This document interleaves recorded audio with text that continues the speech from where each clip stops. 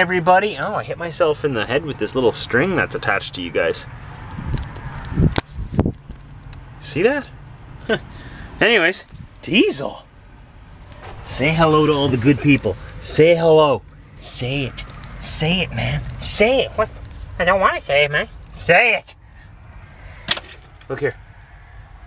You're scaring me, man. People just want to see your handsome face. Not your little pouty face. Come on, show me your handsome face. Come on. Yeah, chin held high. Come on. Come on, turn around. Come here. Come here, come here, come here. Come here. Sit. Sit. Okay, go. Oh, whoa. Why do you look so, like, wimpy? Hold your head up. Come on, right there. Right there? Okay. Good boy. Keep your head up. One second. Ears out. Just a little one little tail wag down there. I'm trying, mate. I'm trying. Trying to look real manly for you, mate. I'm just bugging you. Good boy. Hello. We are starting the day in Anderson, South Carolina. It's beautiful and it's sunshiny. We're actually at a rest area nearby it. And that's what it looks like. Look at that green grass. Green grass. That is the best way to start any day with green grass. I completely agree. So thanks for joining me today, guys. We're gonna be headed up towards Mississauga, Ontario, Canada. We're not gonna make it. Nope, not today. We're trying to get within, I don't know, I'd like to travel about a thousand kilometers today, which is 620 miles, but I don't have to. But I have to at least go uh, 700 to 750 kilometers, so I speak in kilometers. I know most of you speak in miles an hour. I'm sorry that I'm always speaking in metric. It's just easier for me to understand. Because when I say 750 kilometers, to me in my head, that's seven and a half hours of driving on the highway. How far can you get in seven and a half hours in miles an hour? I don't know. Let's say I travel at 65 miles an hour, it's about 100 kilometers an hour. That's why 750 kilometers is seven and a half hours, right? 100 kilometers an hour. Hmm? Some math you thought truckers weren't smart. So miles an hour, let's say we were doing 65 miles an hour. Let's say 60 miles an hour just to make it easier. For seven and a half hours, how many miles will will we get? Figure it out. See if you can do it in your head. Don't don't use paper. Okay, pause the movie right now. See if you can do it in your head. Seven and a half hours at 60 miles an hour. How many miles will you go? Okay, go. Okay, I gotta figure this one out myself too. So you can drop the zero off the 60, right? So just six, even easier. Six times seven. Oh, but the half, that makes it hard. First of all, you gotta find out how many miles you would go in one hour going 60 miles an hour. If you don't know that, just put your pencils down and go. I'm just kidding. Uh, 60 miles an hour, you will make it 60 miles in one hour. That means in one half hour, you go 30 miles, right? Okay, so let's remember that, and let's take that half hour off at the end. So now, it's just seven hours, okay? We'll add the half hour later. Seven hours at 60 miles an hour. Drop the zero, seven times six, what is it? 42. Okay, 42. You guess 42? Hope I'm right, because if I'm wrong, this is going to be embarrassing. 42. Now remember that zero you knocked off the 60 there? It's not very nice to leave that thing out, so you got to bring it back. Put it at the back there. So 42, add the zero, 420 miles. Okay, now remember, we also left out that half hour. How far do you go in half an hour? 30 miles. You can't forget that. Don't leave anybody out. So 420 miles plus the extra 30 miles, you got 450 miles. That's how far you can go in seven and a half hours traveling at 60 miles an hour. Now that was an easy one. Now try that. I might need a calculator if I would need to, if I'd be going like 63 miles an hour, right? Because then it's a little bit harder. That's why God invented calculators. But one day calculators may go extinct. You never know. You should always know how to do math on paper at least. I mean, experts do it in their heads. I'm no expert. I would still want to do it on paper, but Always write out all your equations. If you guys are in school, you young guys who are in school right now, your teachers are always telling you, show your work, show your work. That's why. They want to see that you know the process of how you got the answer. They want to know that you got the answer without cheating. I've been ranting on, what am I, a teacher? I should have been a teacher. Nah, I'm a truck driver, I'm a truck driver. I'm sorry and I've wasted the whole bunch of your time. My point of this opening segment is, if you want to be a truck driver, it's not just driving a truck. There's a lot of math involved. So if you're in school, pay attention. You're gonna need it, even in these careers, even in trades, you need it. Diesel. Diesel. This is confusing, man. It's confusing. Where's all the snow, man? Thought it was January. Look at him. All confused. Look at this magnificent little park we found. Isn't that nice? Look how big these trees are here. Ridiculous. Super long growing season, I guess. But let the record show. In January 2015, I was outside in a t-shirt walking on green grass. Not every place in the world is buried under 10 feet of snow and frozen at minus 30. Go figure. Right, Diesel? What do you think? What do you think of this? I think I saw a rabbit over there, man. Just saying. You just want to go check it out, maybe? Maybe sniff it out a little bit? Sure, why not? Why not? It's just beautiful. Oh, I don't want to go home. I just want to stay down here. Like that sunshine hitting my face right there, it's like warming up my face. I might even get a suntan, I don't know. If I'm not careful, just might happen. All right, guys, let's get this show on the road. Let's get the road on the show. That doesn't really work that way, does it? It's such a beautiful day. We're gonna have to drive with our windows down. Did I mention it's January?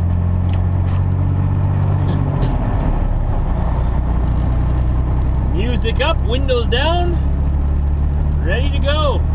You guys who live down here are so lucky, you know that? So lucky. Uh, this is, I believe, I-77 northbound and the I-81 northbound.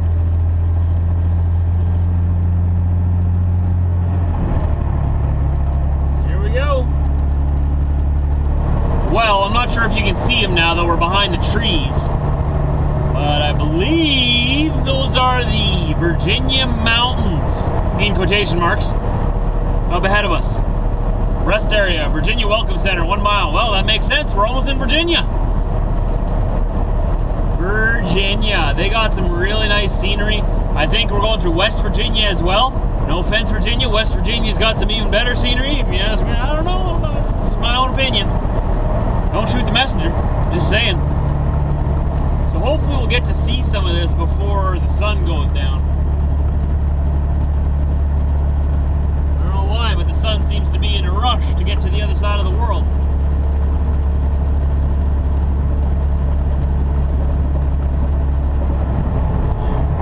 Anyways, we'll see. Uh, we'll see what we see. Does that make sense? We'll see what we see. Well, you ready to go through? Uh, what is this? Big Walker Mountain Tunnel. Big Walker. Someone's walking and he's walking big. Or maybe it's a she. I don't know. What I would like to know though is why everyone slows down to like almost a crawl going through the tunnel. I understand some people are scared of the dark. The guy in front of me is a little scared of the wall too. That's okay. Nothing wrong with that. I just found it a little funny. Speed limit is 55 through here, but it seems everybody likes to rather do 35 to 40. I guess it's better than doing like 100. Just saying, I guess. Alright, buddy, you're blocking my view. I can't see the light at the end of the tunnel. I actually travel through these tunnels quite a bit, don't I? I'm always out here. Oh, you're slowing down some more yet, man? Really? Dude, you're taking up both lanes. The wall's not gonna bite you.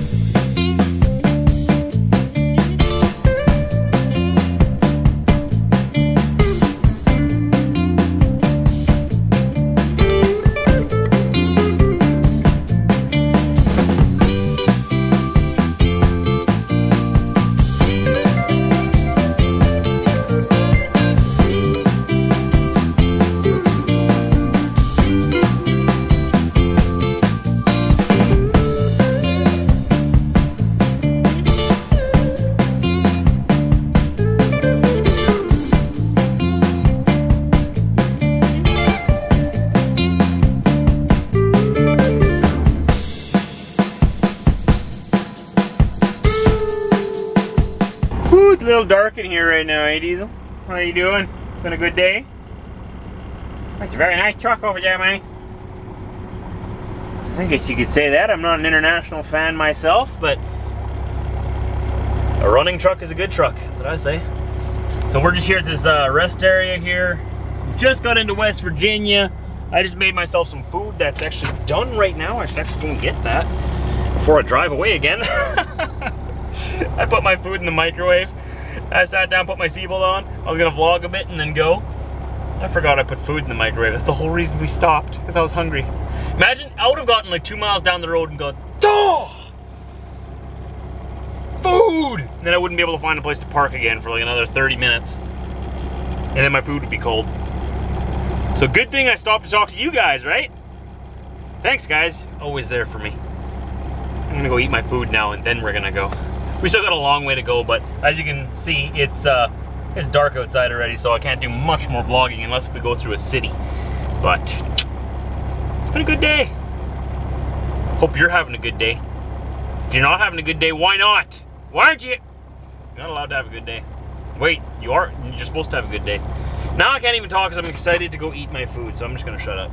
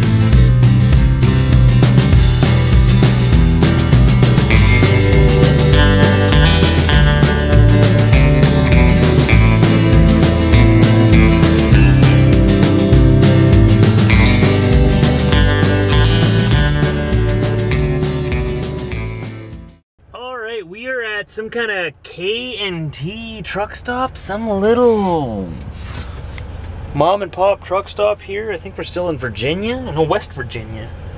I didn't see any signs for Kentucky yet. Is Kentucky the next state? I don't even know. I think we're still in West Virginia. I'd have to check. I got to do my logs right away. But first, I wanted to say hi to you guys. What I did first was see if they had a Wi-Fi signal here, and they do, which is uh, awesome. Actually, they got a really good Wi-Fi signal here, guys. If you guys know where this is, K&T Truck Stop, uh, I think it's exit 139, I-77, West Virginia, I think. Really good Wi-Fi here, and I'm gonna go into the store right away and see what they have inside. I can't really speak for inside. It, it looks like a mom and pop, like what do you call that? A mom and pop truck stop, like they used to be. I'm sure it's nice in there. Parking lot is gravel and really bumpy though, so don't come barreling in here. Uh, you're gonna lose a tire. Take her slow and easy. But I'm used to that because that's how all the truck stops are in Canada, in Western Canada, anyways. Anyways, I was on Facebook here, and uh, I just realized today. Oops, how do I get out of this? One second, I'm gonna hold you guys with this hand. Uh, I just realized today that uh, there is, as of right now, when I'm filming this, let's see, 10,000, over 10,000 you, 10,116 people who follow me on Facebook right now. There's only 5,030 or so that are following me on Twitter. So sorry, Twitter, you're getting left in the dust. But if you're not one of these people who are following me on my social media, uh, feel free to go down below to the description. You'll find my social media there. And you can come join the discussion with me on Facebook. I'm gonna warn you, sometimes when I'm really excited about something that's going on, I kind of spoil next week's vlogs and post pictures about it. I try not to do that too often, unless if I just can't help myself. Like when I got my moose bumper, I put a picture on Facebook, and everybody who follows me on Facebook knew about it and knew what it looked like before any of you in the in the vlogs did. So uh, this is my Facebook here. Uh, how do I get to the top? There we go. This is Trucker Josh, My Life Daily. And it says warning, behind there is warning, professional YouTuber and creepy neighbor. if that's not actually a shirt that I sell, but I thought about it once, but maybe one day yet, maybe. I really do need to redo my line of clothes that I have.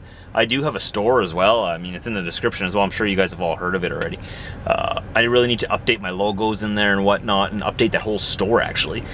I haven't had time, but that's on the agenda and I'd like I wanted to have a new line of clothes out for winter for winter clothes but maybe I'll just do it for summer now because I don't have anyone who does that for me. I've got to do that. So I've got to find time to do that and it's been just chaos in my life uh, the past little while. But my Facebook page feel free this is where I spend most of my time on Facebook. I'm not really a Twitter bug but every post that I put on Facebook goes directly to Twitter. So both sides get it. So if you follow me on both you're gonna get the same status twice. I'm one on each one, right? And uh, on my Facebook here, this is, like I always say, it's more of a personal way to follow me. Uh, on my Facebook here, I open up a little bit more to you guys about my beliefs, my political stance, all this stuff. Like, to be honest with you guys, I'm a big, I've told you this, political junkie. I love politics. I love following them. Pretty much, a lot of the time, I drive all day just listening to the news. I am that lame. And I know I don't believe all the news. Don't worry. I just like to know what they're saying. Uh, I listen to CNN. I listen to Fox News in the States for American news. In Canada, I listen to CBC News. Uh, CTV doesn't have a radio station on satellite yet, but I try to keep up with all of the current events that are going on. Uh, lately, I've also uh, found the show, uh, what's called Glenn Beck. Uh, I like, I really like his show as well. And I try to keep up with all of the chaos that's going on around the world, right? And it's hard to tell what you can believe and what you can't believe. But I share more of my personal opinions and views and beliefs on my social media like this. And there's some people who disagree with me. There's some people that don't. I'm not out to please everybody and make everybody happy by just saying I believe whatever you believe because I might believe something different. Okay? And if uh, and if you don't agree with what I'm saying on Facebook, that's fine. But uh, if you guys want to get to know me a little bit better, my social media is where it's at for that. Because you'll get instant posts there. I, am on Facebook every day. You'll hear from me every day on Facebook. And I post some controversial stuff on there. Uh, I try to get people's reactions. Sometimes I'll post a political post about something, and I, I like to see people's reactions and how they'll react. I have very strong views uh, about how things should be done, but so do you, right? Everybody has those views. And so, uh, yeah, obviously we get more into discussions and stuff like that. I try not to post controversial stuff like every day. That's just too much. But you know what I mean. So if you do want to get to know me a little bit better, uh, know what I'm passionate about, uh, know where I stand on issues. Facebook and social media is where that's at. Because my videos, these are my vlogs. You don't get to know me very well through my vlogs. I know some people think that they know me really well, and I try not to uh, portray someone that I'm not. Uh, I actually think I, I don't portray someone that I'm not. I try my best to stay true to my values and my beliefs because I believe that's what's most important though I don't go in depth with them in the vlog. I go more in depth on on there. You get what I'm saying, right? You get what I'm saying. If you feel like it, go ahead, find me on Facebook and Twitter. Follow me. If you don't feel like it, or if you don't like doing that kind of thing, or if you don't like me, you don't have to. It's a free country, as of right now. It's gonna stay a free country if I have anything to do with it. Tell you what, there I go. My friends already know. Don't get Josh talking about politics, because he'll never stop. I have opinions. And they're right. right, Diesel? Oh, wait, wait, believe whatever you want, man. I just, I just want some of those Froot Loops. Is that what you're thinking about right now? I'm trying to be all serious, and you're just thinking about Froot Loops? Hey, Diesel. I'm sorry, man. It's all ashamed.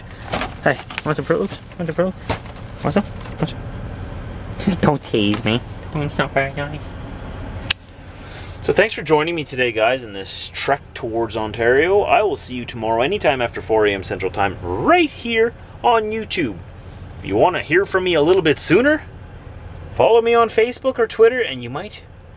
We'll see. What else was I going to tell you? Oh, yeah, vlogs from the past. Stuff I've been doing over the past year. You want to find out, catch up a little bit, or see how far I've come in the past year?